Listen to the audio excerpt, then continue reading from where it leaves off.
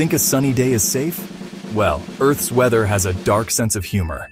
From rain that literally smells like fish to lightning that's hotter than the sun. Buckle up, because Mother Nature is about to roast us all. First up, lightning. A single bolt is five times hotter than the surface of the sun. Oh, and it can travel sideways for up to 10 miles. Translation? You could be standing under a clear sky and still get zapped. Surprise, Pikachu!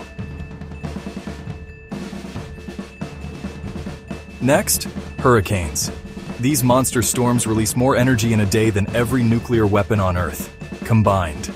Yeah, imagine Mother Nature holding the world's biggest do not disturb sign. Ignore at your own risk. And then there's hail. The largest hailstone ever recorded weighed nearly two pounds. Basically, the sky threw a bowling ball at someone's car. Good luck explaining that to your insurance company. But here's the weirdest.